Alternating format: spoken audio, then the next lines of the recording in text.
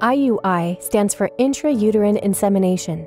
It is a basic fertility treatment often used for unexplained infertility, male factor infertility, single women, or ovulation timing. Your PCRM fertility doctor will create a personalized treatment plan. This may include tablets such as letrozole or injections.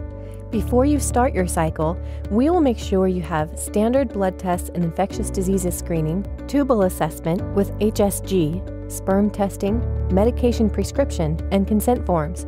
Call PCRM on the first day of your period. Ask to speak to a nurse. The nurse will review your chart to ensure everything is ready for you to start treatment. Begin your medication as prescribed. For example, letrozole is often taken as one tablet every day for five days, beginning on the third day of the period. Begin testing your morning urine with the ovulation predictor strips on day 10. When the test line and the control line are equally dark, call PCRM at 8 o'clock in the morning to book your IUI. If your OPK is positive in the afternoon, we will book your IUI for the following day. Your partner will provide a sperm sample on site at PCRM that morning. The sample will be washed using a density gradient of tiny silica particles. This will isolate the best, fastest swimming sperm for insemination.